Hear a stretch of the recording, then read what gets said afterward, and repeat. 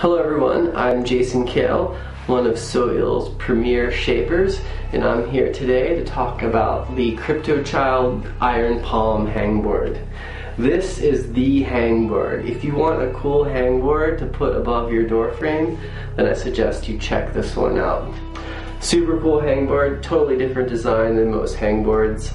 Um, I would say the thing that stands out the most is these two huge slopers on each side, um, which is an awesome feature on a hangboard. Most hangboards are pockets and crimps and all this nastiness. But uh, this one you have two big slopers, you have two pinches, two varying size pinches, and you have four different size edges. Um, all around just a super fun hangboard to train on. Um, I'd say one of the highlights is the really cool dragons that are inlaid in the top master jug here.